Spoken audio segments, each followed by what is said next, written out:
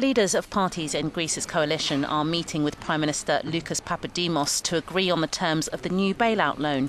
They'll all have to sign off on what is being demanded by the troika of IMF and EU negotiators before a 130 billion euro rescue package is released.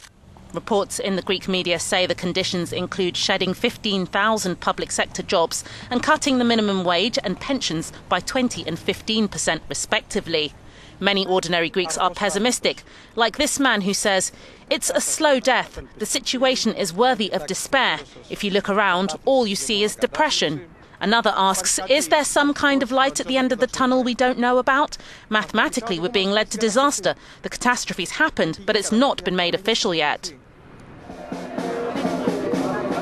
Tuesday's 24 hour general strike saw thousands of workers down tools for the day, protesting the planned austerity measures.